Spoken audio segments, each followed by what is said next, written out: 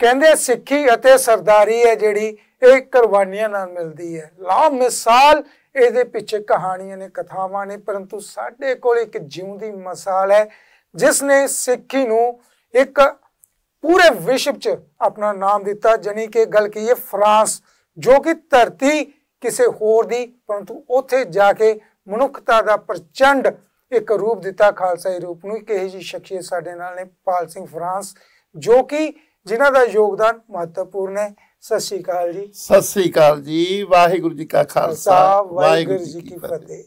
ਪਾਲ ਸਿੰਘ ਜੀ ਤੁਹਾਡਾ ਤਾਂ ਪਹਿਲਾਂ ਸਵਾਗਤ ਹੈ ਤੇ ਦਰਸ਼ਕਾਂ ਨੂੰ ਸਭ ਤੋਂ ਪਹਿਲਾਂ ਇੱਕ ਮੁਬਾਰਕਬਾਦ ਸ਼ੁਭਕਾਮਨਾਵਾਂ ਕਿਉਂਕਿ ਸ੍ਰੀ ਗੁਰੂ ਨਾਨਕ ਦੇਵ ਜੀ ਦੇ ਪ੍ਰਕਾਸ਼ ਪੁਰਬ ਦੀਆਂ ਲੱਖ ਲੱਖ ਮੁਬਾਰਕਾਂ ਤੁਹਾਨੂੰ ਵੀ ਜੀ ਤੇ ਸਾਰੀ ਸੰਗਤ ਨੂੰ ਵੀ ਜੀ। ਮੇਰੇ ਵੱਲੋਂ ਵੀ ਜੀ ਸ਼ਾਨ ਪੰਜਾਬੀ ਮਾਨ ਪੰਜਾਬ ਦਾ ਤੇ ਪੂਰੇ ਪ੍ਰਬੰਧਕਾਂ ਨੂੰ ਪੂਰੀ ਟੀਮ ਨੂੰ ਚੈਨਲ ਦੀ ਨੂੰ ਤੇ ਸਾਰੇ ਸਰੋਤਿਆਂ ਨੂੰ ਸ੍ਰੀ ਗੁਰੂ ਨਾਨਕ ਦੇਵ ਜੀ ਪਾਤਸ਼ਾਹ ਦੇ ਇਸ ਮਹਾਨ ਗੁਰਪੁਰਬ ਦੀ ਬਹੁਤ ਬਹੁਤ ਵਧਾਈ ਜੀ।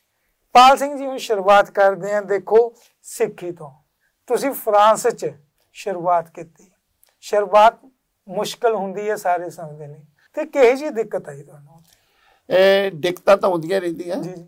ਸਭ ਤੋਂ ਵੱਡੀ ਦਿੱਕਤ ਲੈਂਗੁਏਜ ਦੀ ਸੀ। ਮੈਂ ਲੈਂਗੁਏਜ ਸਿੱਖੀ ਪਹਿਲਾਂ ਸਕੂਲ 'ਚ 6 ਮਹੀਨੇ ਦਾ ਕੋਰਸ ਕੀਤਾ। ਕੰਮ ਦੀ ਹੁੰਦੀ ਦਿੱਕਤ। ਕੰਮ ਵੀ ਪਰਮੇਸ਼ਰ ਦੀ ਕਿਰਪਾ ਨਾਲ ਜਿੱਦਣ ਮੈਂ ਸਰਟੀਫਿਕੇਟ ਲੈ ਕੇ ਬਾਹਰ ਨਿਕਲਿਆ ਸਕੂਲ 'ਚੋਂ ਰਸਤੇ ਵਿੱਚ ਵੀ ਜਿਹੜਾ ਏਮਪਲੋਇਮੈਂਟ ਆਫਿਸ ਸੀਗਾ ਉਹ ਹੈਰਾਨ ਰਹਿ ਗਿਆ ਜਦੋਂ ਉਹਨਾਂ ਨਾਲ ਮੈਂ ਫ੍ਰੈਂਚ ਫ੍ਰੈਂਚ 'ਚ ਗੱਲ ਕੀਤੀ। ਜੌਬ ਮੈਨੂੰ ਮਿਲ ਗਈ ਬਿਲਕੁਲ ਘਰ ਦੇ ਲਾਗੇ। ਜਿਹੜੀ ਸਿੱਖੀ ਦੀ ਪ੍ਰੋਬਲਮ ਸੀ ਰੋਡ ਸੜਕ ਤੇ ਜਾਂਦਿਆਂ ਲੋਕਾਂ ਨੇ ਮਖੌਲ ਕਰਨਾ ਕਰਨਾ ਵੀ ਸਿੱਖ ਉਦੋਂ ਸਿੱਖ ਘੱਟ ਸਨ ਬਹੁਤ ਘੱਟ ਸਨ। ਫਿਰ ਮੈਂ ਚਲੇ ਗਿਆ ਸਾਊਥ ਬ੍ਰਾਂਚ ਉੱਥੇ ਕੋਈ ਵੀ ਸਿੱਖੀ ਸਰੂਪ ਵਾਲਾ ਬੰਦਾ ਕੀ ਇੱਕ ਪੰਜਾਬੀ ਵੀ ਨਹੀਂ ਸੀ ਕਹ ਲਓ ਇੰਡੀਅਨ ਵੀ ਸੀ। ਜੀ ਜੀ ਜੀ। ਉਹ ਬਾਲੋਂ ਸ਼ਹਿਰ ਆ 600 ਕਿਲੋਮੀਟਰ ਪੈਰਿਸ ਤੋਂ। ਜਿੱਥੇ ਮੈਂ ਰਿਹਾ ਜ਼ਿਆਦਾ। ਉੱਥੇ ਪਰੇਸ਼ਾਨੀਆਂ ਹੋਈਆਂ। ਉੱਥੇ ਪਰੇਸ਼ਾਨੀਆਂ ਇੱਕ ਵਾਰੀ ਮੈਨੂੰ ਇਹ ਵੀ ਪੁੱਛਿਆ ਇੱਕ ਬੱਚੇ ਜਿਹੜੇ ਟੀਨੇਜਰ ਬੱਚੇ ਹੁੰਦੇ ਵੀ ਤੂੰ ਮਹਾਰਾਜਾ ਵਾ ਤੂੰ ਫਕੀਰ ਆ ਕਿ ਤੂੰ ਮੁਸਲਮਾਨ ਆ। ਮੈਂ ਕਿਹਾ ਮੈਂ ਤਿੰਨੋਂ ਹੀ ਨਹੀਂ। ਉਹ ਮੈਨੂੰ ਬੱਚੇ ਕਹਿੰਦੇ ਉਹਨਾਂ ਦੀ ਭਾਸ਼ਾ ਜੀ ਤੂੰ ਕਿਹੜੀ ਬਲਾਮ ਆ? ਜੀ। ਫਿਰ ਮੈਂ ਦੱਸਿਆ ਮੈਂ ਸਿੱਖ ਹਾਂ। ਉਹ ਕਹਿੰਦੀ ਤੂੰ ਸਿੱਖ ਆ ਬਿਮਾਰ ਆ। ਮੈਂ ਕਹਿੰਦੀ ਮੈਂ ਸਿੱਖ ਹਾਂ। ਕਹਿੰਦੀ ਕੀ ਹੁੰਦਾ? ਫਿਰ ਮੈਂ ਦੱਸਿਆ ਬਹੁਤ ਹੈਰਾਨ ਰਹੀ ਫਿਰ ਉਹ ਤੋਂ ਕੋਸ਼ਿਸ਼ ਕੀਤੀ ਮੈਂ ਜਿਹੜੇ ਪੰਜੇ ਕਕਾਰ ਸੀ ਉਹਨਾਂ ਦੀ ਇੱਕ ਪ੍ਰਦਰਸ਼ਨੀ ਕੀਤੀ ਟੈਲੀਵਿਜ਼ਨ ਤੇ ਚੈਨਲ 'ਚ। ਜੀ। ਉਹਨਾਂ ਬਹੁਤ ਲੋਕਾਂ ਨੇ ਪਸੰਦ ਕੀਤੀ ਵੀ ਸਿੱਖ ਕੀ ਕੀ ਪਹਿਨਦਾ ਕਿੱਦਾਂ ਦਾੜੀ ਰੱਖਦਾ ਕੀ ਕੀ ਕਰਦਾ ਕਿੱਦਾਂ ਇੱਕ ਕਕਾਰ ਪਹਿਨਦਾ ਸਾਰਾ ਦੱਸਿਆ। ਫਿਰ ਲੋਕਾਂ ਵਿੱਚ ਪ੍ਰਚਾਰ ਹੈ ਉਦੋਂ ਗੁਰਦੁਆਰਾ ਸਾਹਿਬ ਨਹੀਂ ਸੀ ਕੋਈ ਵੀ। ਔਰ ਦੀ ਇਹਦੇ ਵਿੱਚ ਇੱਕ ਬਹੁਤ ਵੱਡੀ ਖਾਸੀਅਤ ਇਹ ਹੈ ਇਸ ਕਹਾਣੀ 'ਚ ਜਿਹੜੀ ਛੁਪਿਆ ਹੋਇਆ ਰਾਜ ਹੈ ਕਿ ਫਰਾਂਸ 'ਚ ਗੁਰਦੁਆਰਾ ਸਾਹਿਬ ਖੋਲਣਾ ਕੋਈ ਸੁਪਨੇ 'ਚ ਵੀ ਨਹੀਂ ਸੋਚਦਾ ਸੀ ਜਦੋਂ ਇਹਨਾਂ ਨੇ ਯਤਨ ਕੀਤੇ। ਉਹ ਯਤਨ ਕਿੱਦਾਂ ਦੇ ਸੀਗੇ ਜਦੋਂ ਤੁਸੀਂ ਉੱਥੇ ਸਥਾਪਨਾ ਕੀਤੀ ਗੁਰੂ? ਮੈਂ ਤਾਂ ਵੈਸੇ ਗੁਰਦੁਆਰਾ ਸਾਹਿਬ ਕਿਹੜੇ ਸੀਗੇ ਉਹਦੇ? ਕੋਈ ਗੁਰਦੁਆਰਾ ਸਾਹਿਬ ਨਹੀਂ ਸੀ ਉਦੋਂ। ਹੁਣ ਉਹਨਾਂ ਦਾ ਨਾਮ ਕੀ ਹੈ ਜੀ? ਹੁਣ ਗੁਰਦੁਆਰਾ ਸਿੰਘ ਸਭਾ ਪੈਰਿਸ ਜਿਹੜੀ ਸੰਸਥਾ ਵਾ। ਜੀ ਜੀ। ਗੁਰਦੁਆਰੇ ਦੀ ਸਮੱਸਿਆ ਕੀ ਸੀਗੀ ਕਿ ਜਿਹੜਾ ਸਾਨੂੰ ਨਾ ਤਾਂ ਕਿਰਾਏ ਤੇ ਜਗ੍ਹਾ ਮਿਲਦੀ ਸੀ। ਜੀ। ਨਾ ਸਾਡੇ ਕੋਲ ਇਤਨਾ ਪੈਸਾ ਸੀ ਖਰੀਦ ਸਕਦੇ ਸੀ। ਮੈਨੂੰ ਯਾਦ ਆ ਕਿ ਅਸੀਂ ਚਰਚ ਬੁੱਕ ਕੀਤਾ ਜੀ। ਚਰਚ ਨੂੰ 100 200 ਫਰੈਂਕ ਦਿੱਤਾ ਕਿਰਾਇਆ। ਤੇ ਮੈਂ ਇੱਕ ਚਿੱਠੀ ਲਿਖੀ ਪੰਜਾਬੀ ਦੇ ਵਿੱਚ ਉਹ ਫੋਟੋ ਸਟੇਟ ਕਰਾ ਕੇ ਕਾਪੀ ਤੇ ਮੈਂ ਲੋਕਾਂ 'ਚ ਵੰਡੀ ਜਿੱਥੇ ਲੋਕ ਲੇਬਰ ਖੜਦੀ ਸੀ ਸਾਡੇ ਪੰਜਾਬੀ। 63 ਬੰਦੇ ਟੋਟਲ ਇਕੱਠੇ ਹੋਏ। ਜੀ। ਤੇ ਦਸਤਾਰ ਵਾਲਾ ਤਾਂ ਕੋਈ ਹੈ ਨਹੀਂ ਸੀ। ਜੀ। ਮੈਂ ਉਹ ਦੇਖਿਆ ਕੋਈ ਪਤਾ ਲੱਗਾ ਵੀ ਇਹ ਗੁਰਦੁਆਰਾ ਸਾਹਿਬ ਨਹੀਂ ਬਣਨਾ। ਫਿਰ ਮੈਨੂੰ 1985 ਚ ਤੁਸੀਂ ਐ ਕਹ ਲਓ ਪ੍ਰਮਾਤਮਾ ਨੇ ਇੱਕ ਹੁੰਜ ਜੀ ਮਾਰੀ ਵੀ ਕੁਛ ਨਹੀਂ ਹੁੰਦਾ ਤੂੰ ਚੱਲ। ਮੈਂ ਫਿਰ ਇੱਕ ਬਿਲਕੁਲ ਤੁਸੀਂ ਲਾ ਲਓ ਵੀ ਇੱਕ ਬੈੱਡਰੂਮ ਜਿੱਡਾ ਛੋਟਾ। ਤੁਸੀਂ ਲਾ ਲਓ ਵੀ ਇੱਕ ਬੈੱਡ ਉੱਥੇ ਚ ਡੱਟਦਾ ਰੱਖ ਨਹੀਂ ਸੀ ਸਕਦਾ। ਉਹ ਇੱਕ ਸਾਡੇ ਗੁਰਦਿਆਲ ਸਿੰਘ ਨਾਂ ਦੇ ਵੀਰ ਸਨ ਉਹਨਾਂ ਦਾ ਉੱਥੇ ਛੋਟਾ ਜਿਹਾ ਕਾਰੋਬਾਰ ਸੀ ਅਪਾਰਟਮੈਂਟ ਕਿਰਾਏ ਤੇ ਸੀ ਉਹਨਾਂ ਕੋਲ। ਉਹ ਕਹਿੰਦੇ ਮੈਂ ਆਹ ਜਗ੍ਹਾ ਦੇ ਸਕਦਾ। ਅੱਗੇ ਉਹਦੇ ਬਰਾਂਡਾ ਸੀ 10 ਕ ਬੰਦੇ ਬੈਠ ਸਕਦੇ ਨਹੀਂ ਸੀ। ਅਸੀਂ ਉੱਥੇ 1985 ਚ ਸ੍ਰੀ ਗੁਰੂ ਗ੍ਰੰਥ ਸਾਹਿਬ ਦਾ ਸਰੂਪ ਇੰਗਲੈਂਡ ਤੋਂ ਲੈਂਦਾ ਤੇ ਉੱਥੇ ਪ੍ਰਕਾਸ਼ ਕਰਤਾ। ਉਦੋਂ ਦੋ ਕ ਹੋਰ ਸਿੱਖ ਗੁਰਸਿੱਖ ਆਏ ਹੋਏ ਸਨ ਦਸਤਾਰ ਵਾਲੇ। ਜੀ ਜੀ। ਇਹ 85 ਦੀ ਗੱਲ ਹੈ ਜੀ। ਉਦੋਂ ਫਿਰ ਅਸੀਂ ਉਹ ਸ਼ੁਰੂ ਕਰ ਦਿੱਤਾ ਹੌਲੀ ਹੌਲੀ ਇਹ ਗੁਰਦੁਆਰਾ ਸਾਹਿਬ ਜਿਹੜਾ ਹੋਣਾ ਗੁਰਦੁਆਰਾ ਸਿੰਘ ਸਭਾ ਪੈਰਿਸ ਇਹ 1988 ਦੇ ਕਰੀਬ ਬਣਿਆ ਜੀ। ਅੱਛਾ ਤੁਹਾਡੇ ਦੀ ਇੱਕ ਰੋਚਕ ਗੱਲ ਹੋਰ ਵੀ ਸੀ। ਤੁਸੀਂ ਜਦੋਂ ਸਾਰੀਆਂ ਚੀਜ਼ਾਂ ਛੱਡਤੀਆਂ ਸੀ ਨਿਰਾਸ਼ ਹੋ ਗਏ ਸੀ ਮੇਤੋਂ ਨਹੀਂ ਬਣਨਾ। ਇੱਕ ਇਹੋ ਜਿਹੀ ਘਟਨਾ ਵੀ ਵਾਪਰੀ ਸੀ ਲੇਬਰ ਚੌਂਕ ਵਾਲੀ। ਉਹ ਕੀ ਸੀਗੀ? ਉਹ ਮੈਂ ਜਦੋਂ ਬਿਲਕੁਲ ਨਿਰਾਸ਼ ਹੋ ਗਿਆ ਕਿ ਗੁਰਦੁਆਰਾ ਸਾਹਿਬ ਨਹੀਂ ਬਣਨਾ। ਜੀ। ਉੱਥੇ ਜਿੱਦਾਂ ਇੱਥੇ ਲੇਬਰ ਚੌਂਕ ਆ ਸਾਡੇ ਇੱਕ ਲਾਗੇ ਨੂਰਮਹਿਲ ਏਰੀਏ ਦਾ ਬੰਦਾ ਸੀ ਉਹਨੇ ਬਿਲਕੁਲ ਜਿਹੜੀ ਸਿਰ ਦੇ ਉੱਤੇ ਗੰਜ ਕਢਾਈ ਹੋਈ ਸੀ। ਬਿਲਕੁਲ ਦੀ ਸ਼ਕਲ ਸੂਰਤ ਇਸ ਪਾਕਿਸਤਾਨ ਤੋਂ ਜਿਹੜੇ ਵੀਰ ਖੜਦੇ ਸੀ ਉਹਨਾਂ ਦੀ ਸੀ। ਕੋ ਚੌਕ ਸੀਗਾ ਉੱਥੇ ਸਾਰੇ ਖੜਦੇ ਦੇ ਮੈਂ ਉਹਨੂੰ ਪੰਜਾਬੀ ਚ ਲੈਟਰ ਇੱਕ ਲਿਖਿਆ ਪੰਜਾਬੀ ਚ ਉਹਨੂੰ ਮੈਂ ਦਿੱਤਾ ਮੈਂ ਐ ਲਫ਼ਜ਼ ਵਰਤਿਆ ਵੀ ਜੇ ਸਾਡਾ ਕੋਈ ਬੰਦਾ ਆਇਆ ਤਾਂ ਉਹਨੂੰ ਦੇ ਦੇਣਾ। ਬਿਲਕੁਲ। ਤੇ ਮੈਨੂੰ ਹੈਰਾਨਗੀ ਦੀ ਹੱਦ ਨਹੀਂ ਰਹੀ ਜਦੋਂ 100 ਰੁਪਏ ਦਿਹਾੜੀ ਤੇ ਬੰਦੇ 100 ਰੁਪਏ ਦਿਹਾੜੀ ਹੈ ਨਹੀਂ ਸੀ ਉੱਥੇ। ਉਹਨੇ ਮੈਨੂੰ 500 ਫਰੈਂਕ ਕੱਢ ਕੇ ਕਹਿੰਦਾ ਵੀ ਆ ਫੜ ਤੂੰ ਤਕੜਾ ਹੋ ਜਾ ਮੈਨੂੰ ਪਤਾ ਤੂੰ ਗੁਰਦੁਆਰਾ ਬਣਾਉਣਾ ਹੀ ਬਣਾਉਣਾ। ਤੇ ਮੈਂ ਕਿਹਾ ਮੈਂ ਪੈਸੇ ਅਗਰਾਂ ਨਹੀਂ ਆਇਆ। ਤੇ ਫਿਰ ਮੇਰੇ ਦਿਮਾਗ 'ਚ ਆਈ ਤੇ ਪੰਜਾਬੀ ਸਾਡਾ ਪੰਜਾਬ ਦਾ ਇਹ ਸਿੱਖਾਂ ਦਾ ਬੱਚਾ ਆ। ਬਾਅਦ ਮੈਨੂੰ ਪਤਾ ਲੱਗਾ ਐਮਏ ਪੋਲੀਟੀਕਲ ਸਾਇੰਸ ਦੀ ਕੀਤੀ ਸੀ। ਸਮਾਂ ਇਦਾਂ ਦਾ ਬਲਵਾਨ ਹੁੰਦਾ ਕੱਪੜੇ ਵੀ ਮਾੜੇ ਪਾਏ ਹੋਏ ਸਨ। ਬਾਅਦ ਚ ਉਹਨੇ ਮੇਰਾ ਸਾਥ ਵੀ ਦਿੱਤਾ। ਫਿਰ ਮੈਨੂੰ ਬੂਸਟ ਜਿਹਾ ਮਿਲ ਗਿਆ ਤਾਕਤ ਮਿਲ ਗਈ। ਫਿਰ ਮੈਂ ਉਹਦੇ ਵਿੱਚ ਦਰਸ਼ਕਾਂ ਨੇ ਜ਼ਰੂਰ ਇੰਨਾ ਦੱਸਣਾ ਚਾਹੂੰਗਾ ਕਿ ਵਰਤਮਾਨ ਯੁੱਗ ਵਿੱਚ ਹਮੇਸ਼ਾ ਹਰੇਕ ਬੰਦਾ ਕੋਈ ਨਿਰਾਸ਼ ਹੁੰਦਾ ਪਰੰਤੂ ਇਹ ਨਾ ਸੋਚ ਲੈ ਕਿ ਜੀਵਨ ਦਾ ਅੰਤ ਇੱਥੇ ਹੋ ਜਾਂਦਾ ਕਿਉਂਕਿ ਸ਼ਰਬਾਤ ਜਿਹੜੀ ਇਹ ਕਹਾਣੀ ਦੱਸਦੀ ਹੈ ਇਹ ਚੀਜ਼ ਸ਼ੋ ਕਰਦੀ ਹੈ ਕਿ ਜੇ ਤੁਹਾਡੇ ਮਨ 'ਚ ਦਰਦ ਹੈ ਪਿੱਛੇ ਨਾ ਹਟੋ। ਤੇ ਅਗਲਾ ਸਫ਼ਰ ਜਾਰੀ ਰੱਖਦੇ ਤੇ ਫਿਰ ਗੁਰਦੁਆਰਾ ਸਾਹਿਬ 'ਚ ਜਦੋਂ ਤੁਹਾਨੂੰ 500 ਡਾਲਰ ਵੀ ਉਤੋਂ ਬੰਦੇ ਨੇ ਤੁਸੀਂ ਨਹੀਂ ਲਿੱਤੇ ਜਿਹੜੇ ਉੱਥੇ ਦੀ ਮਣੀ ਸੀਗੀ, ਤੇ ਉਸ ਤੋਂ ਬਾਅਦ ਕਿਵੇਂ ਬਣਾਇਆ ਗੁਰਦੁਆਰਾ ਜਿਹੜਾ ਕੋਈ ਵੀ ਕਾਰਜ ਹੈ, ਕੋਈ ਵੀ ਕੰਮ ਹੈ, ਪਰਮਾਤਮਾ ਦਾ, ਅੱਲਾ ਦਾ, ਵਾਹਿਗੁਰੂ ਦਾ, ਉਹ ਕੋਈ ਵੀ ਅੜਦਾ ਨਹੀਂ। ਇਹ ਮੈਨੂੰ ਪੂਰੀ ਤਰ੍ਹਾਂ ਵਿਸ਼ਵਾਸ ਵੱਜ ਗਿਆ। ਦੇਖੋ, ਨਾ ਸਾਡੇ ਕੋਲ ਪੈਸੇ ਸੀ, ਨਾ ਸਾਡੇ ਕੋਲ ਕੋਈ ਉੱਥੇ ਦੇ ਅੱਛੇ ਲੋਕ ਸਨ ਸਾਡੇ। ਕੰਮ ਲੋਕਾਂ ਨਾਲ ਤੇ ਪੈਸੇ ਨਾ ਹੁੰਦਾ। ਅਸੀਂ ਫਿਰ ਕਿਰਾਏ ਤੇ ਸ਼ੁਰੂ ਕਰ ਲਿਆ। ਹੌਲੀ ਹੌਲੀ ਉੱਥੇ ਉਹ ਬਣ ਨਹੀਂ ਦੇਣਾ ਚਾਹੁੰਦੇ ਸੀ ਗੁਰਦੁਆਰਾ ਕਿਸੇ ਸੂਰਤ ਵੀ। ਉਹ ਜੇ ਅਸੀਂ ਕਿਰਾਏ ਤੇ ਵੀ ਲੈਣਾ ਉਹਨਾਂ ਨੇ ਨਾ ਕਰ ਦੇਣੀ। ਬੋਲ ਲੈਣ ਲਈ ਪੈਸੇ ਨਹੀਂ ਹੌਲੀ ਹੌਲੀ 88 ਆ ਗਿਆ ਕੁਝ ਗੁਰਸਿੱਖ ਵੀ ਹੋ ਗਏ। ਮਤਾ ਪਾਸ ਕੀਤਾ ਵੀ ਵੀ ਆਪਾਂ ਇਹਨਾਂ ਤੋਂ ਚੋਰੀ ਬਣਾ ਲਈਏ ਫਿਰ ਐ ਹੀ ਹੋ ਸਕਦੀ। ਉੱਥੇ ਤੇ ਕਾਨੂੰਨ ਬਾਰੇ ਸਮਝ ਲੱਗੀ। 1988 ਦੇ ਵਿੱਚ ਫਿਰ ਮੈਂ ਆਪਣੇ ਨਾਂ ਜਗ੍ਹਾ ਲੈ ਕੇ ਉਹ ਦੋ ਹੋਰ ਉੱਥੇ ਦੇ ਗੁਰਸਿੱਖਾਂ ਨੂੰ ਨਾਲ ਲੈ ਕੇ ਨਾਂ ਲੈ ਕੇ ਰਜਿਸਟਰੀ ਕਰਾ ਲਈ ਕਿਸੇ ਨੂੰ ਦੱਸਿਆ ਨਹੀਂ। ਤੁਹਾਨੂੰ ਜੇਲ੍ਹ ਕਿਉਂ ਹੋਈ ਸੀ ਇਸ ਮਾਮਲੇ 'ਚ ਗੱਲ? ਇਹ ਜੇਲ੍ਹ ਜੇਲ੍ਹ ਇਦਾਂ ਵੀ ਮੈਂ 70 ਦਿਨ ਜੇਲ੍ਹ ਰਿਹਾ ਜੀ। ਉਹਨਾਂ ਨੇ ਉਹ ਚਾਹੁੰਦੇ ਨਹੀਂ ਸੀ ਇਹ ਗੁਰਦੁਆਰਾ ਬਣੇ ਜਦੋਂ ਅਸੀਂ ਨਿਸ਼ਾਨ ਸਾਹਿਬ ਵੀ ਲਾਤਾ ਉਹ ਬਿਲਕੁਲ ਚਾਹੁੰਦੇ ਨਹੀਂ ਸੀ ਗੈਰ ਕਾਨੂੰਨੀ ਸੀ ਉਹਨਾਂ ਦੇ ਹਿਸਾਬ ਨਾਲ ਬਣ ਗਿਆ ਜੀ। ਦੇਖੋ ਇਹ ਜਿਹੜੇ ਜਦੋਂ ਤੁਸੀਂ ਕੌਮ ਲਈ ਜਾਂ ਇਸ਼ਟ ਲਈ ਕੋਈ ਕੰਮ ਕਰਨਾ ਉਹ ਤੇ ਜੇਲਾ ਜੁਲਾ ਤਾਂ ਬਾਈਂਡਰ ਆ। ਉਹਨਾਂ ਨੇ ਮੈਨੂੰ ਚੱਕਿਆ 70 ਦਿਨ ਮੈਨੂੰ ਅੰਦਰ ਰੱਖਿਆ। ਤੇ ਫਿਰ ਉਹਨਾਂ ਨੇ ਮੈਨੂੰ ਸਨਮਾਨਿਆ ਵੀ। ਜੀ ਜੀ। ਇਸ ਇਹ ਇਹ ਦੇਖੋ ਇਹ ਪਰਮਾਤਮਾ ਦਾ ਹੀ ਵੱਡਾ ਹੈ। ਇੱਕ ਵਾਰੀ ਜੇਲ੍ਹ 'ਚ ਧੱਕ ਦਿੰਦੇ ਨੇ ਦੂਸਰੇ ਪਾਸੇ ਸਨਮਾਨਿਤ ਕਰਨਾ। ਇਹ ਵੀ ਪੋਜ਼ਿਟਿਵਿਟੀ ਵੱਲ ਕਿਸ ਤਰ੍ਹਾਂ ਮਨੁੱਖ ਨੂੰ ਲੈ ਕੇ ਜਾਂਦਾ ਹੈ? ਅੱਗੇ ਕੀ ਹੁੰਦਾ ਹੈ? ਗੁਰਦੁਆਰਾ ਸਾਹਿਬ ਬਣ ਗਿਆ ਜੀ। ਜੀ। ਗੁਰਦੁਆਰਾ ਸਾਹਿਬ ਪ੍ਰਕਾਸ਼ ਹੋ ਗਿਆ। ਅੱਜ ਯੂਰਪ ਦਾ ਬਹੁਤ ਵਧੀਆ ਉਹ ਬਿਲਡਿੰਗ ਹੈ। ਸਿੱਖ ਸੰਗਤ ਬਹੁਤ ਆ। ਫਿਰ ਮੈਂ ਜਦੋਂ ਮੈਨੂੰ ਵਕੀਲਾਂ ਨੇ ਕਿਹਾ ਵੀ ਤੂੰ ਇੱਥੇ ਰਹੀ ਨਾ ਹੁਣ। ਜਦੋਂ ਮੇਰੇ ਕੇਸ ਪਾਤਾ ਉਹਨਾਂ ਨੇ ਮੇਰੀ ਗੱਡੀ ਨਹੀਂ ਮਿਲ ਦਿੱਤੀ ਮੇਰੇ ਪੈਸੇ ਨਹੀਂ ਦਿੱਤੇ ਮੇਰਾ ਪਾਸਪੋਰਟ ਨਹੀਂ ਦਿੱਤਾ ਲਾਇਸੈਂਸ ਮੈਂ ਸਾਰਾ ਨਵਾਂ ਬਣਾ ਲਿਆ। ਮੈਂ ਫਿਰ ਅਸੀਂ ਕੈਨੇਡਾ ਹੋ ਗਏ ਜੀ 90 ਚੋਂ ਨਹੀਂ ਮਾਈਗ੍ਰੇਟ ਜੀ। 90 ਤੋਂ ਉੱਥੇ ਮਾਈਗ੍ਰੇਟ ਹੋ ਗਏ ਉੱਥੇ ਮੇਰੀ ਇੱਕ ਫਿਲਮ ਵੀ ਬਣੀ ਹੈ। ਤੇ ਜਦੋਂ ਤੁਸੀਂ ਕਨਵਰਟ ਹੋ ਗਏ ਕੈਨੇਡਾ ਚ ਆ ਕੇ ਤੁਹਾਡੀ ਪਿਕਚਰ ਬਣੀ। ਤੇ ਪਿਕਚਰ ਤੋਂ ਬਾਅਦ ਕਿਵੇਂ ਲੋਕਾਂ ਦਾ ਰੁਝਾਨ ਸੀ ਤੁਹਾਡੇ ਵੱਲ? ਇਹ ਲੋਕ ਨਾਰਮਲ ਆ ਲੋਕ ਸੋਚਦੇ ਸਿੱਖ ਮੇਨ ਕੰਮ ਕੰਮ ਸੀਗਾ ਵੀ ਸਿੱਖੀਜ਼ਮ ਬਾਰੇ ਪਤਾ ਲੱਗੇ ਇੱਕ ਸਿੱਖ ਮੈਂ ਤੁਹਾਨੂੰ ਇੱਥੇ ਹੋਰ ਦੱਸਣਾ ਚਾਹੁੰਦਾ 1988 ਦੇ ਵਿੱਚ ਮੈਂ ਸਵਿਟਜ਼ਰਲੈਂਡ ਤੋਂ ਫਰਾਂਸ ਵਿੱਚ ਇੰਟਰ ਸਵਿਟਜ਼ਰਲੈਂਡ ਤੋਂ ਕੋਈ ਗੁਰਦੁਆਰਾ ਸਾਹਿਬ ਨਹੀਂ ਉੱਥੇ ਮੈਨੂੰ ਪ੍ਰਚਾਰ ਲਈ ਸੱਦਿਆ ਉਹਨਾਂ ਨੇ। ਤੇ ਲੋਕਾਂ ਦੇ ਪ੍ਰਤੀ ਮੈਂ ਦੱਸਣਾ ਚਾਹੁੰਦਾ ਇਹ ਤੁਹਾਡੇ ਸਰੋਤਿਆਂ ਦੇ ਜਾਣਕਾਰੀ ਲਈ। ਮੈਂ ਇਹ 10-15 ਮਿੰਟ ਮੇਰੇ ਪਾਸ ਸਮਾਂ ਸੀਗਾ। ਸਵਿਟਜ਼ਰਲੈਂਡ ਮੈਂ ਸਟੇਸ਼ਨ ਤੇ ਖੜਾ ਸੀ। ਟ੍ਰੇਨ ਲੈ ਕੇ ਗਿਆ। ਟ੍ਰੇਨ ਨੇ ਵਾਪਸ ਆਉਣਾ ਸੀ। ਦੋ ਨੌਜਵਾਨ ਆਏ ਬੱਚੇ ਵੱਡੇ ਜਿਹੜੇ ਜੰਗ 20 22 ਸਾਲ ਦੇ ਮੈਨੂੰ ਕਹਿੰਦੇ ਬੁਲਾ ਕੇ ਅੰਗਰੇਜ਼ੀ ਬੋਲਦੇ ਸੀ ਕਿ ਕਿ ਤੁਸੀਂ ਬਾਹਰ ਚੱਲੋ। ਮੈਂ ਕਿਹਾ, ਮੈਂ ਬਾਹਰ ਚ ਨਹੀਂ ਜਾਂਦਾ। ਕਹਿੰਦੇ, ਕਿਉਂ? ਮੈਂ ਕਿਹਾ, ਮੈਂ ਇੱਕ ਉੱਥੇ ਧੂਆਂ ਹੋਣਾ ਤੁਹਾਡੇ ਸੈਕਟਰੀ ਦਾ। ਮੈਂ ਉਦਾਂ ਮੈਨੂੰ ਕੋਈ ਹੈ ਨਹੀਂ, ਪਰ ਮੈਂ ਇੱਕ ਚੀਜ਼ ਪੀਂਦਾ ਕਹਿੰਦੇ ਵੀ ਤੂੰ ਦੋ ਤੇ 10 ਮਿੰਟ ਤੇਰੇ ਕੋਲ ਸਮਾਂ ਹੈਗਾ। ਮੈਂ ਕਿਹਾ, ਕੋਈ ਗੱਲ ਨਹੀਂ। ਉਹ ਬਹੁਤ ਬੱਚੇ ਹੋਰ ਨੌਜਵਾਨ ਆ ਗਏ। ਇੱਕ ਲੜਕੀ ਮੈਨੂੰ ਪੁੱਛਣ ਲੱਗੀ ਜੰਗ ਲੜਕੀ, ਉਹ ਔਖੀ ਜਿਹੀ ਅੰਗਰੇਜ਼ੀ ਬੋਲੇ। ਮੈਂ ਕਿਹਾ, ਤੁਸੀਂ ਫ੍ਰੈਂਚ ਚ ਗੱਲ ਕਰੋ, ਕੋਈ ਗੱਲ ਨਹੀਂ, ਮੈਨੂੰ ਫ੍ਰੈਂਚ ਆਉਂਦੀ ਹੈ। ਮੈਨੂੰ ਕਹਿੰਦੀ ਆਰ ਯੂ ਰੀਅਲ ਸਿੱਖ ਮੈਂ ਕਿਹਾ no I am trying to become a real Sikh ਕਹਿੰਦੀ ਮੈਂ ਕਿਹਾ ਫ੍ਰੈਂਚ ਚ ਫ੍ਰੈਂਚ ਗੱਲ ਕਰਨ ਲੱਗੀ। ਮੈਂ ਕਿਹਾ ਤੇਰੇ ਰੀਅਲ ਸਿੱਖ ਤੋਂ ਭਾਵ ਕੀ ਹੈ? ਕਹਿੰਦੀ ਤੂੰ ਪੰਜਾਬ ਦਾ ਜੰਮਿਆ? ਮੈਂ ਕਿਹਾ ਕਹਿੰਦੀ ਤੂੰ ਅੰਮ੍ਰਿਤ ਛਕਿਆ ਹੋਇਆ? ਮੈਂ ਕਿਹਾ ਕਹਿੰਦੀ ਤੂੰ ਪੰਜ ਕਕਾਰ ਪਹਿਨਦਾ? ਮੈਂ ਕਿਹਾ ਕਹਿੰਦੀ ਤੂੰ ਪੰਜ ਨਿਤਨੇਮ ਕਰਦਾ? ਮੈਂ ਕਿਹਾ ਕਹਿੰਦੀ ਤੂੰ ਅੰਮ੍ਰਿਤ ਵੇਲੇ ਉੱਠਦਾ? ਮੈਂ ਕਿਹਾ ਕਹਿੰਦੀ ਤੂੰ ਦਸਵੰਦ ਕੱਢਦਾ? ਇਦਾਂ ਦੀਆਂ ਗੱਲਾਂ ਸੁਣ ਕੇ ਮੈਂ ਬਹੁਤ ਹੈਰਾਨ ਹੋਇਆ। ਮੈਂ ਕਿਹਾ ਉਹ ਫਿਰ ਜਦੋਂ ਸਾਰੀਆਂ ਗੱਲਾਂ ਦੱਸੀਆਂ ਤੇ ਮੇਰੇ ਪੈਰਾਂ ਨੂੰ ਛੂਣ ਲੱਗੀ। ਮੈਂ ਕਿਹਾ ਤੂੰ ਪੈਰਾਂ ਨੂੰ ਨਹੀਂ ਛੂਣਾ ਗੱਲ ਦੱਸ ਕੀ ਹੈ ਕਹਿੰਦੀ ਵੀ ਮੇਰਾ ਯੂਨੀਵਰਸਿਟੀ ਮੈਂ ਪੜ੍ਹਦੀ ਮੇਰਾ ਆਰਟੀਕਲ ਆ ਇੱਕ ਸਿੱਖੀਜ਼ਮ ਬਾਰੇ। ਜੀ ਜੀ। ਜਿਹੜਾ ਮੈਂ ਲਿਖਣਾ ਸੀ ਇਸ ਮੇਰੀ ਮਾਤਾ ਕਹਿੰਦੀ ਵੀ ਤੂੰ ਤਾਂ ਇੰਡੀਆ ਸਿੱਖ ਹੀ ਨਹੀਂ ਦੇਖਿਆ ਰੀਅਲ ਬੇਸ਼ੱਕ ਤੂੰ ਸਟੱਡੀ ਕਰ ਲਈ ਸਿੱਖੀਜ਼ਮ ਬਾਰੇ। ਤੇ ਉਦੋਂ ਇੰਡੀਆ ਬੈਨ ਸੀਗਾ ਫੋਰਨਰਸ ਨੂੰ ਵੀਜ਼ਾ ਨਹੀਂ ਸੀ ਮਿਲਦਾ ਵਿਸ਼ੇਸ਼ ਤੌਰ ਤੇ ਪੰਜਾਬ ਦਾ 88 ਦੇ ਵਿੱਚ। ਜੀ।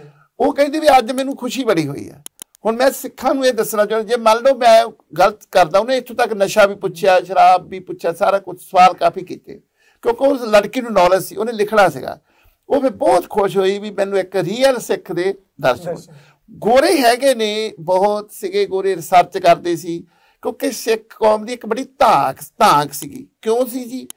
ਉਹ ਗੋਰੀ ਲੜਕੀ ਨੇ ਪੜਿਆ ਹੋਊਗਾ ਸਿੱਖਾਂ ਬਾਰੇ ਜਾਂ ਮਹਾਰਾਜਾ ਰਜੀਤ ਸਿੰਘ ਬਾਰੇ ਵੀ ਉੱਥੇ ਦੇ ਲਤਿਓਰਾ ਇੱਕ ਜਨਰਲ ਹੋਇਆ ਆਰਮੀ ਦਾ ਜਿਹੜਾ ਪੰਜਾਬ ਦੀ ਫੌਜ ਦੇ ਵਿੱਚ ਮਹਾਰਾਜ ਫੌਜ ਵਿੱਚ ਆਰਟਿਲਰੀ ਵਿੱਚ ਤੋਪਖਾਨੇ ਵਿੱਚ ਜਨਰਲ ਸੀਗਾ।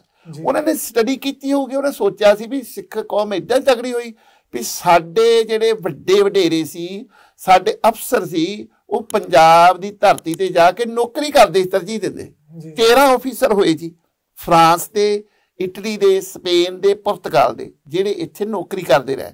ਉਹਨਾਂ ਨੇ ਹੋ ਸਕਦਾ ਸਟੱਡੀ ਕੀਤੀ। ਅੱਜ ਵੀ ਉੱਥੇ ਮਹਾਰਾਜਾ ਰਣਜੀਤ ਸਿੰਘ ਦਾ ਬੁੱਤ ਹੈ ਇੱਕ ਪਿੰਡ ਦੇ ਵਿੱਚ। ਬਹੁਤ ਦੁਨੀਆ ਆਉਂਦੀ ਉਹਨੂੰ ਦੇਖਣ ਨੂੰ। ਉਹਨਾਂ ਦੀ ਧਾਂਕ ਸੀ। ਹੋ ਸਕਦਾ ਉਹਨੇ ਸੋਚਿਆ ਵੀ ਮੈਂ ਸਿੱਖੀਜ਼ਮ ਬਾਰੇ ਕੁਝ ਲਿਖਣਾ ਵਾ। ਫਿਰ ਤੋਂ ਤੱਕ ਮਹਾਰਾਜਾ ਰਣਜੀਤ ਸਿੰਘ ਦੀ ਮਹਾਰਾਜਾ ਦਲੀਪ ਸਿੰਘ ਦੀ ਜਿਹੜੇ ਆਖਰੀ ਮਹਾਰਾਜੇ ਉਹਦੀ ਮੌਤ ਪੈਰਸ ਵਿੱਚ ਹੋਈ। ਇਸ ਕਰਕੇ ਹੋ ਸਕਦਾ ਉਹਨੂੰ ਗਿਆਨ ਹੋਵੇ। ਪਰ ਮੈਂ ਇਹ ਦੱਸਣਾ ਚਾਹੁੰਦਾ ਜੇ ਮੈਂ ਇਹ ਕੰਮ ਨਾ ਕਰਦਾ ਹੁੰਦਾ ਉਹਨੂੰ ਹੱਟ ਹੋਣਾ ਸੀ ਵੀ ਇਹ ਸਿੱਖ ਹੁੰਦਿਆ ਦਾੜੀ ਕੇਸ ਹੁੰਦਿਆ ਇਹ ਅੰਮ੍ਰਿਤ ਵੇਲੇ ਨਹੀਂ ਉੱਠਦਾ ਜਾਂ ਨਿਤਨੇਮ ਨਹੀਂ ਖਾਵੇ ਚ ਨਹੀਂ ਖਾਵੇ ਚ ਨਹੀਂ ਸਿੱਧੀ ਗੱਲ ਸਵਾਲ ਉਹ ਰਿਐਲਿਟੀ ਜਾਣਨੀ ਚਾਹੁੰਦੇ। ਤੁਸੀਂ ਇੱਕ ਬਹੁਤ ਵੱਡਾ ਸਵਾਲ ਚੁੱਕਿਆ ਕਿ 1988 ਦੇ ਦੌਰ ਵਿੱਚ ਬਾਹਰਿਆਂ ਨੂੰ ਭਾਰਤ ਦਾ ਵੀਜ਼ਾ ਨਹੀਂ ਮਿਲਦਾ ਸੀ। ਤੇ ਕੀ ਉਸ ਸਮੇਂ ਜਿਹੜਾ ਤੁਸੀਂ ਜਦੋਂ ਬਾਹਰ ਗਏ ਹੋ ਪੰਜਾਬ ਤੋਂ ਤਾਂ ਕਿਸ ਤਰ੍ਹਾਂ ਗਏ ਹੋ? ਕਿ ਔਕੜਾ ਪਹਿਲਾਂ ਵੀ ਇਦਾਂ ਹੀ ਸੀ? ਇਹ ਮੈਂ ਵੈਸੇ ਇਥੋਂ 77 ਚ ਗਿਆ ਜੀ। ਜੀ ਜੀ। ਪਹੁੰਚਦਾ ਪਹੁੰਚਦਾ ਮੈਨੂੰ 78 ਹੋ ਗਿਆ। ਮੈਂ ਸਾਲ ਕਿਵੇਂ ਲੱਗੇ ਮੈਂ ਜ਼ਿਆਦਾ ਹੁਣ ਤਾਂ 48 ਘੰਟੇ ਚ ਬੰਦਾ ਉੱਥੇ ਹੁੰਦਾ ਮੈਂ ਜ਼ਿਆਦਾ ਸਮਾਂ ਬਾਈ ਰੋਡ ਸਫ਼ਰ ਕੀਤਾ। By road by train. ਸਾਨੂੰ ਕਈ ਦਿੱਕਤਾਂ ਵੀ ਆਈਆਂ। ਇਹ Afghanistan Turkey Iran Bulgaria Hungary Romania Czechoslovakia ਇਹ ਰੂਟ ਸੀ ਸਾਡਾ। ਮੈਂ ਫਸਟ ਟਾਈਮ ਗਿਆ ਮੈਂ ਕਦੀ ਗਿਆ ਨਹੀਂ ਸੀ। ਸੁਣ ਸੁਣ ਕੇ ਸਾਨੂੰ ਹੰਗਰੀ ਨੇ ਵਾਪਸ ਕਰਤਾ। ਮਤਲਬ ਸਾਨੂੰ ਵੀਜ਼ਾ ਨਹੀਂ ਦਿੱਤਾ। ਅਸੀਂ ਵੀ ਬਾਇਆ ਰਵਾਨੀਆ ਜਾਣਾ ਸੀ। ਮੈਨੂੰ ਯਾਦ ਵਾ ਤੁਹਾਡੇ ਤੁਸੀਂ ਅੱਜ ਮੈਨੂੰ ਗਏ ਕਾਦੇ ਤੇ? ਮੈਂ ਬਾਈ ਬੱਸ ਕੋਈ ਥੋੜਾ ਤੁਰ ਕੇ ਘੱਟ ਸਫ਼ਰ ਕੀਤਾ ਜਾਂ ਬਾਈ ਟ੍ਰੇਨ ਇੱਥੋਂ ਜਾਣਾ ਇੱਥੋਂ ਦੂਸਰੀ ਟ੍ਰੇਨ ਲੈਣੀ ਬੱਸ ਲੈਣੀ। ਮੈਂ ਚੈਨਲ ਸ਼ਾਨ ਪੰਜਾਬੀ ਦੇ ਰਾਹੀਂ ਉਹਨਾਂ ਲੋਕਾਂ ਨੂੰ ਵੀ ਦੱਸਣਾ ਚਾਹਨਾ ਜਿਹੜੇ ਦਾਵਾ ਕਰਦੇ ਨੇ ਅਸੀਂ ਪੈਦਲ ਤੁਰ ਕੇ ਪਹਿਲੇ ਜਾਣ ਵਾਲੇ ਯਾਤਰੀਆਂ ਨਹੀਂ ਤੁਹਾਡੇ ਤੋਂ ਜਾਣ ਵਾਲੇ ਵੀ ਪਾਲ ਸਿੰਘ ਫਰਾਂਸਿਕ ਜਿਨ੍ਹਾਂ ਦੀ ਜਿਉਂਦੀ ਜਾਂਦੀ ਮਿਸਾਲ ਸਾਡੇ ਕੋਲ ਹੈ। ਤੇ ਕੀ ਕੀ ਕਠਿਨਾਈਆਂ ਆਈਆਂ ਤੁਹਾਨੂੰ ਮੈਂ ਬਲਗਾਰੀਆ ਦੀ ਘਟਨਾ ਤੁਹਾਡੇ ਸਾਂਝੀ ਕਰਨਾ ਕੁਦਰਤੀ ਦਿਮਾਗ ਉੱਥੇ ਤੱਕ ਚੱਲ ਪਿਆ। ਸਾਨੂੰ ਰਬਾਨੀਆ ਹੰਗਰੀ ਨੇ ਰਿਪੋਰਟ ਕਰਤਾ ਵਾਇਆ ਰਬਾਨੀਆ ਜਾਣਾ ਸੀ ਟ੍ਰੇਨ 'ਚ। ਉਹਨਾਂ ਨੇ ਨਹੀਂ ਵੀਜ਼ਾ ਨਹੀਂ ਦਿੱਤਾ। ਉਦੋਂ ਕਈ ਇੰਡੀਅਨ ਪਾਸਪੋਰਟ ਨੂੰ ਕਈ ਥਾਈ ਵੀਜ਼ੇ ਸੀ ਕਈ ਥਾਈ ਐਂਟਰੀ ਸੀ। ਤੇ ਉੱਥੇ ਜਿਹੜੀਆਂ ਸੋਫੀਆ ਕੈਪੀਟਲ ਆ ਬਹੁਤ ਸੁੰਦਰ ਸ਼ਹਿਰ ਆ ਬਲਗਾਰੀਆ ਦਾ। ਉੱਥੇ ਲੜਕੀਆਂ ਹੀ ਚਲਾਉਂਦੀਆਂ ਨੇ ਜਿਹੜੀਆਂ ਟਰਾਮਾਂ ਨੇ। ਮੈਂ ਇੱਕ ਲੜਕੀ ਮੈਂ ਇਦਾਂ ਹੀ ਸਾਨੂੰ ਪਤਾ ਨਾ ਲੱਗੇ ਕੁਛ ਇੱਕ ਟਰਾਮ ਨੂੰ ਮੈਂ ਹੱਥ ਦੇ ਦਿੱਤਾ ਜੀ।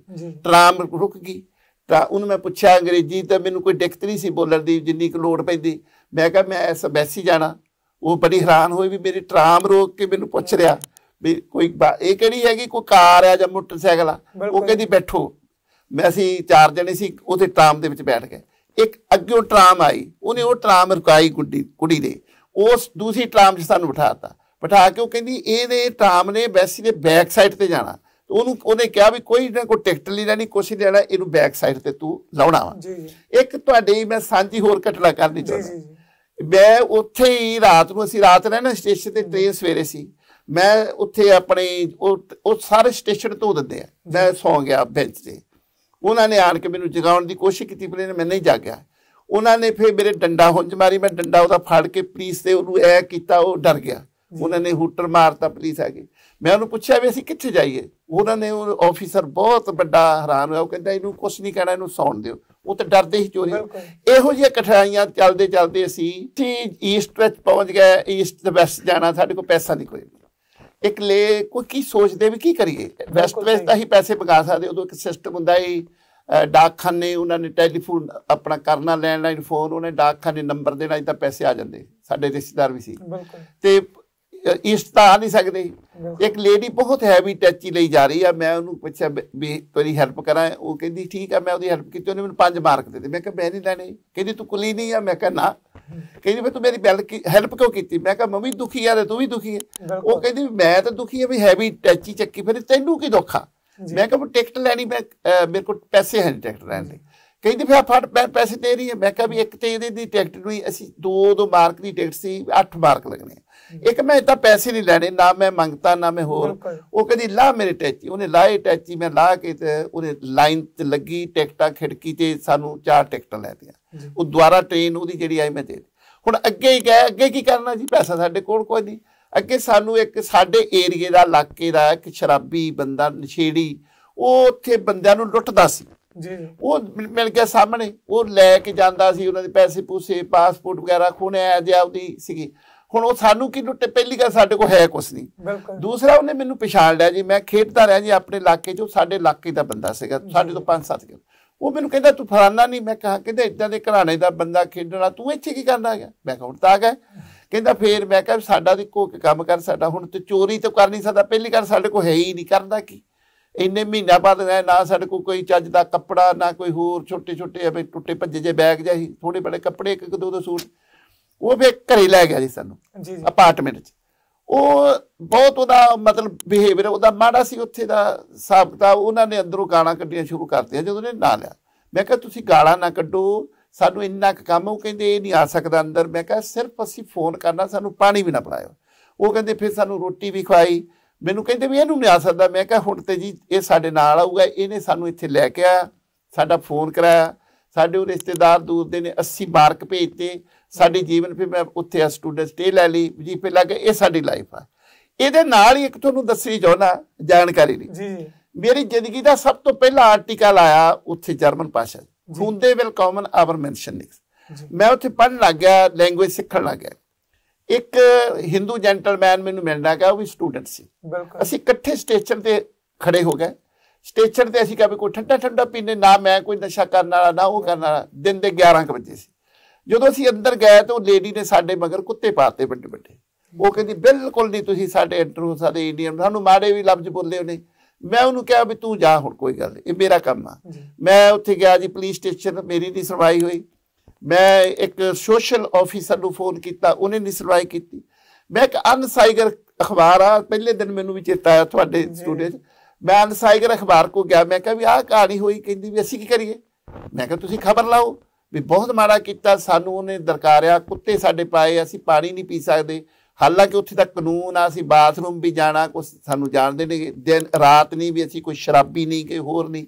ਕਿਤੇ ਕੁਛ ਮੈਂ ਕਿਹਾ ਤੁਸੀਂ ਦੋ ਖਬਰਾਂ ਲਾਉਂਗੇ ਇਹ first time in my life ਸੀਗਾ ਅਖਬਾਰ ਨਾਲ ਗੱਲਬਾਤ ਕਰਨ। ਜੀ ਜੀ। ਕਹਿੰਦੇ ਕੀ? ਮੈਂ ਕਿਹਾ ਇੱਕ ਤੇ ਲਾਉਂਗੇ ਇੱਕ ਇੱਕ ਲਾਉਂਗੇ ਵੀ ਤੁਸੀਂ ਮੈਨੂੰ ਮੇਰੀ ਖਬਰ ਨਹੀਂ ਲਾਈ। ਇੱਕ ਮੇਰੀ ਖਬਰ ਲਾਉਂਗੇ ਇੱਕ ਇਹ ਲਾਉਂਗੇ ਕਿ ਤੁਸੀਂ ਮੇਰੀ ਖਬਰ ਨਹੀਂ ਲਾਈ। ਸਾਡੇ ਨਾਲ ਵਿਤਕਰਾ ਹੋਇਆ। ਮੈਂ ਇੱਡੀ ਦੂਰ ਗਿਆ, ਉਹਨੇ ਮੈਨੂੰ ਆਵਾਜ਼ ਮਾਰ ਲਈ। ਕਹਿੰਦੀ, ਕਿੱਦਾਂ ਲਾਉਂਗਾ ਮੈਂ ਕਿਹਾ, ਮੈਂ ਇਸ ਤਰ੍ਹਾਂ ਲਾਉਂ ਕਿਸੇ ਅਖਬਾਰ 'ਚ ਪੈਸਾ ਦੇ ਦੂੰ ਮੈਂ ਸਾਰਾ। ਕਹਿੰਦੀ, ਇੱਥੋਂ ਤੱਕ ਤੂੰ ਕੁਰਬਾਨੀ ਕਰੀ ਜਾ ਮੈਂ ਕਹਾ ਕਹਿੰਦੀ, ਤੂੰ ਕੀ ਕਰਨਾ ਚਾਹੁੰਦਾ? ਮੈਂ ਕੋ ਬਾਰ ਬੰਦ ਹੋਣੀ ਚਾਹੀਦੀ, ਲਾਇਸੈਂਸ ਜ਼ਬਤ ਹੋਣਾ ਚਾਹੀਦਾ। ਜਿਹਨੇ ਇੱਕ ਕੀਤਾ। ਉਹ ਹੁੰਦੇ ਵੈਲਕਮਨ ਆਵਰ ਮੈਂਸ਼ਨ ਲਿਖਦਾ ਮਤਲਬ ਹੈ ਕੁੱਤਿਆਂ ਨੂੰ ਜੀ ਹੈ, ਬੰਦਿਆਂ ਨੂੰ ਦਰਕਾਰ। ਉਹਨੇ ਫੇ ਉਸੇ ਖਬਰ ਨੂੰ ਦੋ ਬਣਾਤੀ ਪਾਲ ਜੂਖਤ ਫਰੋਂਦੇ। ਵੀ ਮੈਂ ਫਰੈਂਡ ਲੱਭਦਾ ਜਿਹੜਾ ਉਹ ਬਾਰ ਮੈਂ ਤਾਂ ਖਰੀਦ ਸਕਦਾ ਮੈਂ ਤਾਂ ਉੱਥੇ ਦਾ ਪੱਕਾ ਨਹੀਂ ਸੀ। ਵੀ ਜਿਹੜਾ ਇਹ ਬਾਰ ਖਰੀਦ ਕੇ ਇੱਥੇ ਹਰ ਮਨੁੱਖ ਆ ਸਕਦਾ ਹੋਵੇ। ਉਦੋਂ ਹੀ ਦੂਏ ਦਿਨ ਖੜਕ ਗਿਆ ਜੀ ਘੰਟੇ ਉਹਦਾ ਲੈਂਡਲਾਈਨ ਫੋਨ ਦੇ ਬੁਰੀ ਹਾਲਤ ਹੋ ਗਈ ਅਖਬਾਰ 'ਚ। ਬਹੁਤ ਗੋਰੀਆਂ ਦੇ ਫੋਨ ਆਏ ਗੋਰਿਆਂ ਦੇ ਫੋਨ ਆਏ ਆ ਬਹੁਤ ਵਿਤਕਰਾ ਇਦਾਂ ਨਹੀਂ। ਉੱਥੇ ਦੇ ਮਿਨਿਸਟਰ ਦਾ ਮੈਨੂੰ ਫੋਨ ਆਇਆ ਪੁਲਿਸ ਦੇ ਹੈੱਡ ਆਫਿਸ ਦਾ ਆਇਆ। ਉਦੋਂ ਬਾਅਦ ਉਹਦੀ ਲੇਡੀ ਦੇ ਉਹਨੇ ਲਾਇਸੈਂਸ ਮੈਂ ਕਿਹਾ ਹੀ ਸਾਨੂੰ ਇਹ ਬਾਹਰ ਦਿਓ ਬਾਹਰ ਤਾਂ ਨਹੀਂ ਨੂੰ ਦਿੱਤੀ। ਉਹਨਾਂ ਨੇ ਉਹ ਲਾਇਸੈਂਸ ਜ਼ਬਤ ਕਰਤਾ ਉਸੇ ਸਮੇਂ ਵੀ ਇਹ ਤੂੰ ਬਾਹਰ ਨਹੀਂ ਚਲਾਉਣ ਦੀ ਯੋਗ ਨਹੀਂ। ਇੰਨਾ ਉੱਥੇ ਨਿਆਂ ਮਿਲਦਾ ਜੀ। ਇਹ ਸਾਡੀ ਇਹ ਪੁਰਾਣੀ ਗਾਥਾ ਵਾ ਜਿਹੜੀ ਤੁਹਾਡੇ ਨਾਲ ਸਾਂਝੀ ਕੀਤੀ।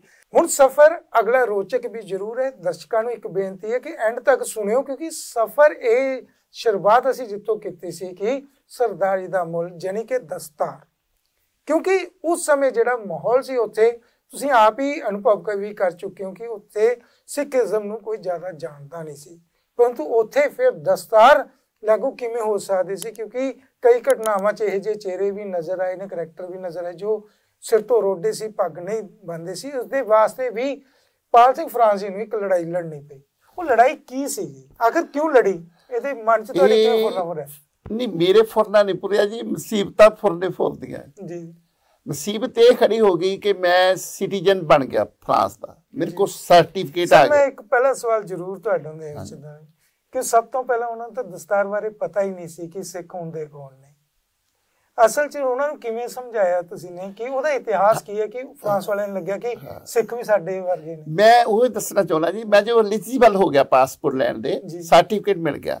ਜਦੋਂ ਮੈਂ ਪਾਸਪੋਰਟ ਅਪਲਾਈ ਕੀਤਾ ਉੱਥੇ ਨੈਸ਼ਨਲ ਆਇਡੈਂਟੀ ਕਾਰਡ ਤੇ ਪਾਸਪੋਰਟ ਇਕੱਠੇ ਅਪਲਾਈ ਹੁੰਦੇ ਆ। ਜਦੋਂ ਤੁਸੀਂ ਸਿਟੀਜ਼ਨ ਬਣਦੇ ਹੋ ਸਰਟੀਫਿਕੇਟ ਮਿਲ ਜਾਂਦਾ ਜੀ ਜੀ। ਕਿ ਤੁਸੀਂ ਅੱਜ ਤੋਂ ਫਰਾਂਸ ਦੇ ਸਿਟੀਜ਼ਨ ਹੋ।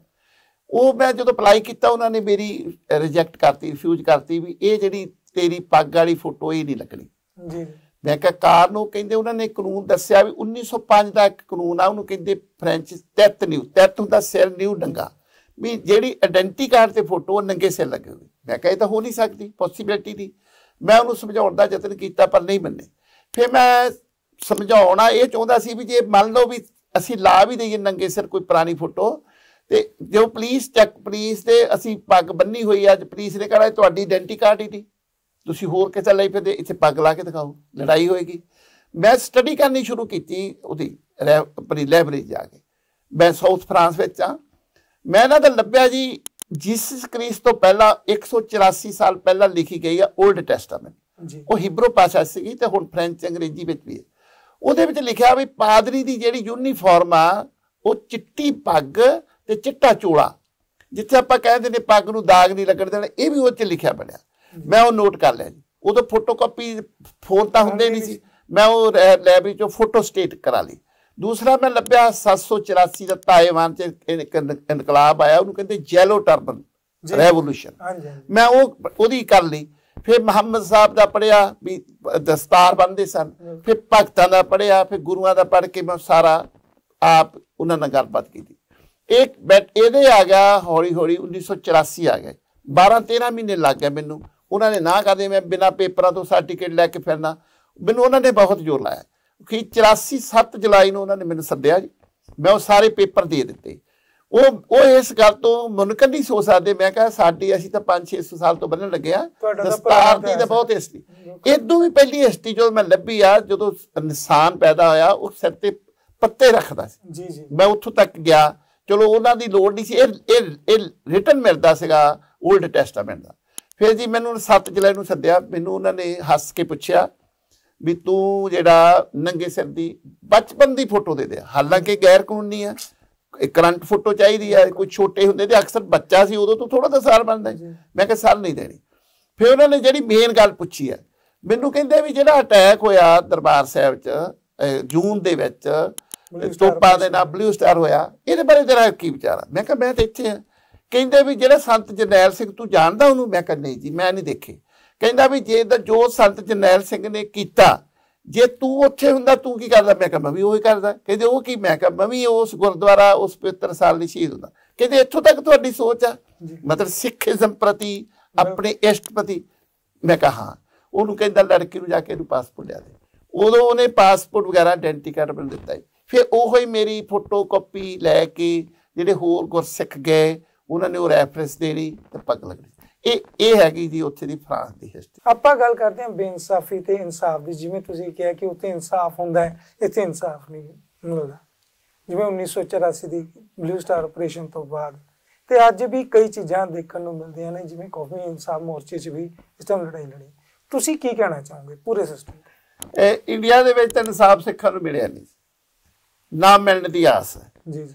ਬਾਹਰ ਸਾਨੂੰ ਕਦੀ ਵੀ ਸਾਡੇ ਨਾਲ ਬੇਇਨਸਾਫੀ ਨਹੀਂ ਹੋਈ ਜਿੰਨਾ ਮੈਂ 22 ਮੁਲਕਾਂ 'ਚ ਰਿਹਾ ਜੀ। ਜੀ। ਜ਼ਿਆਦਾ ਮੈਂ England France German Canada America 'ਚ ਰਿਹਾ 10-12 ਸਾਲ। ਕਿਤੇ ਅਨਜਸਟਿਸ ਨਹੀਂ ਹੋਈ ਸਾਡੇ ਨਾਲ ਕਿਤੇ ਵੀ। ਉਹ ਬਿਲਕੁਲ as per as per law ਜੋ ਕਾਨੂੰਨ ਕਹਿੰਦਾ ਉਹ ਸੰਸਾਰ ਚੱਲਦੇ ਨੇ। ਚਾਹੇ ਪੁਲਿਸ ਪ੍ਰਸ਼ਾਸਨ ਤੇ ਕੋਈ ਕਿਸੇ ਤ- ਕਿਤੇ ਡਿਸਕ੍ਰਿਮੀਨੇਸ਼ਨ ਹੋਈ। ਇੱਥੇ ਤੇ ਐਡੀ ਹਾਲਾਤ ਮੰਦੀ ਹੈ।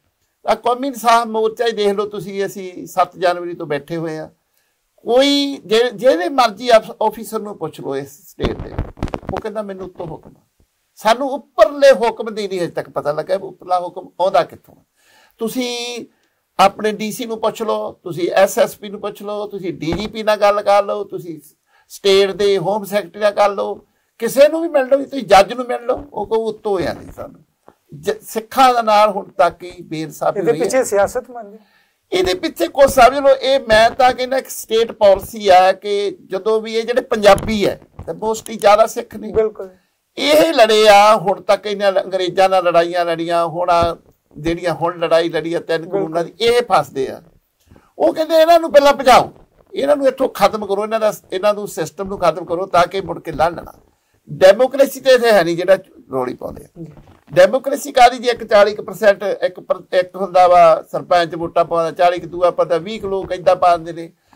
ਇਹ ਮੁਲਕ ਦੀ ਕਰਪਸ਼ਨ ਸਾਰਾ ਸਿਸਟਮ ਉਦੋਂ ਸੁਧੂਗਾ। ਮੈਂ ਤੁਹਾਡੇ ਮਾਧਿਅਮ ਮਾਧਿਅਮ ਤੋਂ ਕਹਿਣਾ ਚਾਹੁੰਦਾ ਜਿਸ ਮੁਲਕ ਦੇ ਵਿੱਚ ਐਮਐਲਏ ਦੀ ਜਾਂ ਚੇਅਰਮੈਨ ਦੀ ਜਾਂ ਐਮਪੀ ਦੀ ਟਿਕਟ ਵਿਕਦੀ ਹੈ ਉੱਥੇ ਕਦੀ ਨਿਆਂ ਨਹੀਂ ਹੋ ਸਕਦਾ। ਕਦੀ ਕਦੀ ਵੀ ਉੱਥੇ ਜਿਹੜੀ ਰਿਸ਼ਵਤਖੋਰੀ ਹੈ ਜਾਂ ਕਰਪਸ਼ਨ ਉਹ ਖਤਮ ਹੋ ਹੀ ਨਹੀਂ ਸਕਦੀ।